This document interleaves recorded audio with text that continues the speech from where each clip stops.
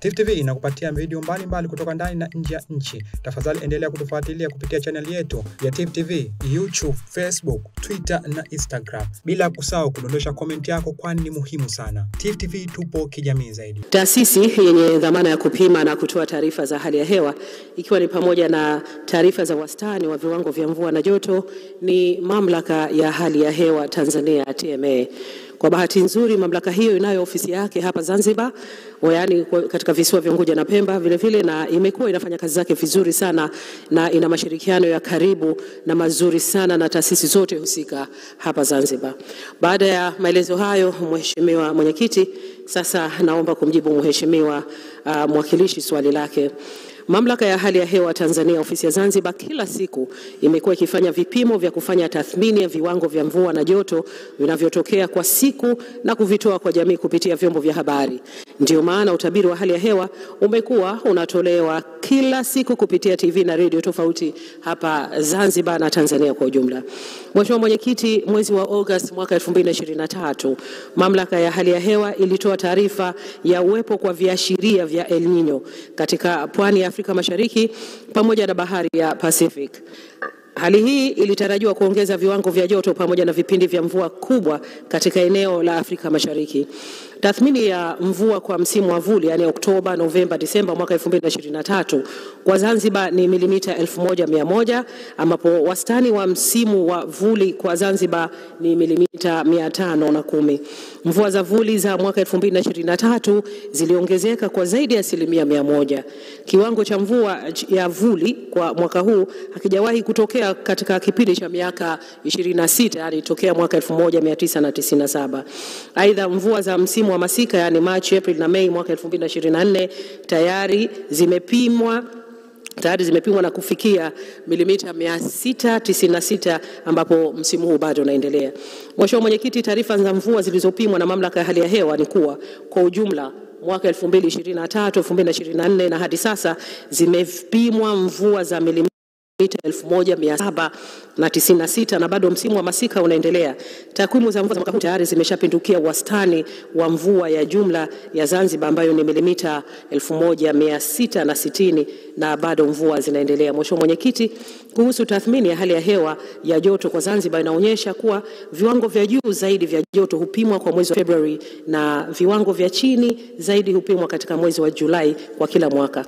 Kwa mwaka 2023 2024 wastani wa kiwango cha juu cha joto kilichopimwa ilikuwa ni nyuzi joto 33.4. Kiwango cha chini kimepindukia wastani wa muda mrefu ambao ni nyuzi joto 32.9. Mheshimiwa Mwenyekiti, wastani wa kiwango cha chini cha joto kilichopimwa kilikuwa ni nyuzi joto 26.6 na ambacho pia kimepindukia wastani wa muda mrefu ambayo ni nyuzi joto 23.8.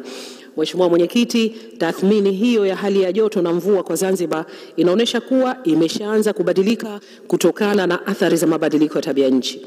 Hivyo kupanda, kutunza na kuhifadhi miti, mikogo pamoja na kuhifadhi mazingira yetu ili tuweze kukabiliana na hali hiyo, kuimarisha uchumi, ustawi wa maisha na kukabiliana na athari za mabadiliko ya tabia nchi. Asante Mheshimiwa Mwenyekiti.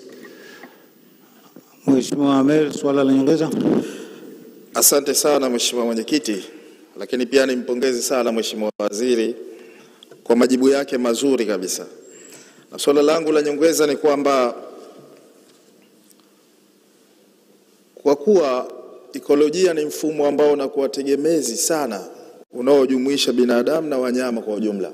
Je, wizara sasa ipo tayari kutuletea tathmini ya namna gani wanyama wetu wanapotea kutokana na mfumo huu wa ekolojia katika athari za kimazingira ambayo yanatokezea siku hadi siku. Lakini swali langu la pili ni kwamba ni lini sasa wizara, kwa kuwa athari nyingi za ekolojia na mazingira zinaangukia kwenye ardhi, upotevu wa ardhi na uharibifu katika mambo mengi kama hayo, sasa ni lini sasa wizara au serikali itakuja na mpango thabiti kabisa wa kukijinai kukijanisha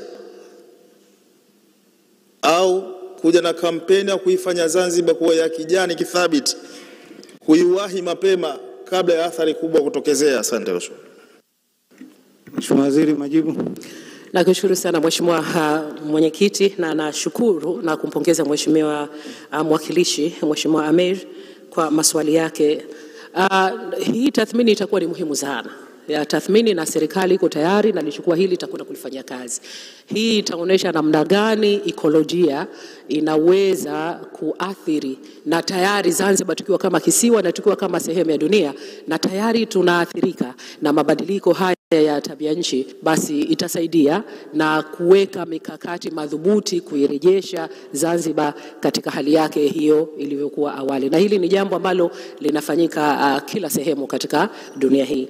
Lakini uh, la pili kuhusiana na kuijanisha Zanzibar, nadhani hili jambo liko tayari. Kama utakumbuka bajeti ya ofisi ya makamu wa kwanza wa rais ya, ya mwaka 2023 2024 pamoja na mambo mengine imekuja na mkakati wa Zanzibar uh, Green uh, Legacy Initiative ambao unajumuisha wadau wote serikalini, sekta binafsi, NGOs na CSOs katika kuhakikisha tuna, mobilize uh, resources kwa maana ya fedha pamoja na human uh, resources katika kuifanya Zanzibar iwe inarudi ule ukijani wake. Kwa hivyo huo mpango initiative hiyo inaendelea na tayari umeanza kutekelezwa, na katika hili pamoja na mambo mengine, serikali yani kupitia wizara zote tunataka tuhakikishe kwamba kila moja inaweka bajeti ya kuhakikisha wanapanda miti katika, katika maeneo yao ikiwa ni sehemu ya utekelezaji wao wa kazi za kawaida na kazi za maendeleo. Kwa hivyo hilo jambo lipo na linaendelea kutekelezwa. Asante sana Mheshimiwa Mwenyekiti. Tifu TV inakupatia video mbalimbali mbali kutoka ndani na nje ya nchi. Tafadhali endelea kutufuatilia kupitia chaneli yetu ya Tifu TV, YouTube, Facebook, Twitter na Instagram, bila kusahau kudondosha komenti yako, kwani ni muhimu sana. Tifu TV tupo kijamii zaidi.